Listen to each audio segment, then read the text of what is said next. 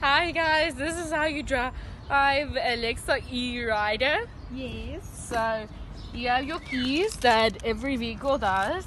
You put it in its key socket and when you turn it on, it shows that it's on. But for this demonstration, I'm gonna leave it on. Okay, this side is your drive and your reverse. So if you reverse, it makes a beeping sound. Then you have your lights that's in front and in the back. Are they on? Yes, they're on. Lights ready, camera, action, and then And then you have your side position, side,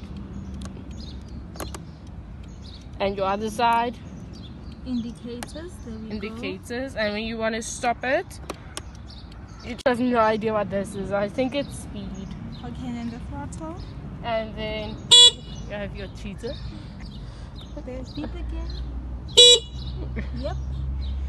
And then this is your throttle for power. Yes. And and that's the basic stuff of an e-rider. Now let's go.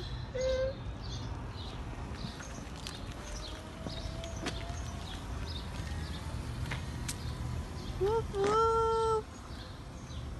Okay, so this is how you reverse.